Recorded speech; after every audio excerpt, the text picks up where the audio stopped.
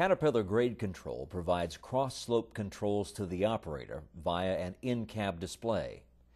The integrated display provides machine status, operator preferences, and grade control information.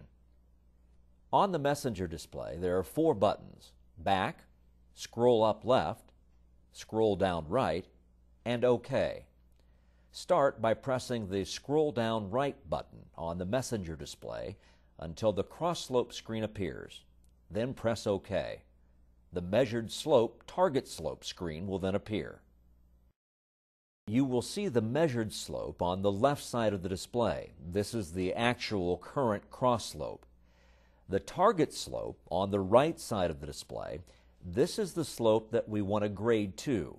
At any time during cross slope operation, one side of the blade is the elevation side. This is the side that the operator actively controls. The other side is the slope side of the blade, and it can be either manually or automatically controlled. The manual icon appears on either the right or left side of the display window, and it indicates which side of the blade, right or left, is the slope side. There is also an icon to indicate the cross slope direction.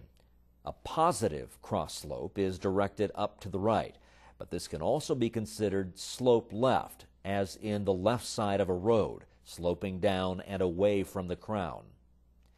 A negative cross slope is directed down to the right.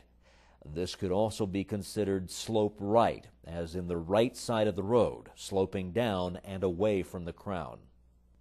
On the left side of the console are the left increment decrement switch and the right increment decrement switch. They are used to raise or lower the target values. Press forward, which is the top of the switch, to lower the target value on that side of the blade. Press the switch rearward, bottom of the switch, to raise the target value on that side of the blade.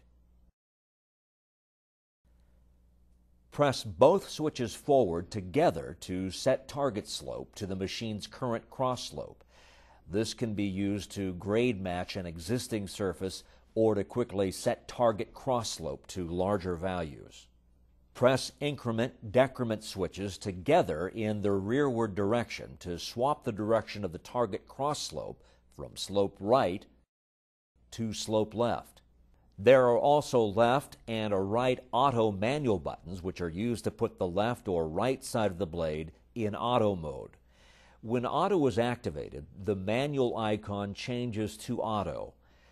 The operator manually controls the elevation side of the blade while the system automatically moves the slope side of the blade up or down to match the target slope.